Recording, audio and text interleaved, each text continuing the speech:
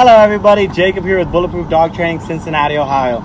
We have our newest Bulletproof family member, Wilson. He's a three-year-old lab mix. Uh, he's a super sweet guy, um, super lovable, has a great personality, but he's is a typical dog with the traits of wanting to jump on people, getting too excited, licking the crap out of people, uh, wanting to uh, uh, pick up things he shouldn't be picking up. Uh, you know, the classic lab things, when to retrieve things he shouldn't be retrieving. but uh, so they brought him to Bulletproof because they just want to enjoy their dog. They want a nice, obedient dog that is still their own dog in every way. He just listens. Now he knows English. So they brought him to Bulletproof to get him like that so they can uh, have their same lovable pup, uh, but he just will listen to him, listen to them, and they can really go out and enjoy him more. So let's get a little taste of what Wilson has to offer us today on his first day here. Let's see, Wilson, can you sit? Sit, off, sit, sit. Good boy! He sat, he's like, good boy! Oh gosh, okay, cool. Well, uh, well, he doesn't want to hold the sit, but he'll do the sit, which is cool. Um, but you want to down, down, down, down. Look, I got a treat, buddy. Mm, it's so. Down, down. Okay, well, he doesn't want to down. Well, he might know down, but uh, he doesn't want to do it for us. How about you want to walk with us, buddy? We go for a walk. Uh, Wilson, come, come, for a walk. Boy, buddy. Oh, okay, come, come, come, come, come, come, come. He is a little distracted by the other dogs and everything going around. Um, but uh, he, he is actually a rather good boy. He just doesn't have any real obedience, doesn't know any real commands. So we're gonna get a nice solid foundation in with him in 15 days. Check us out on bulletproofdogtraining.com.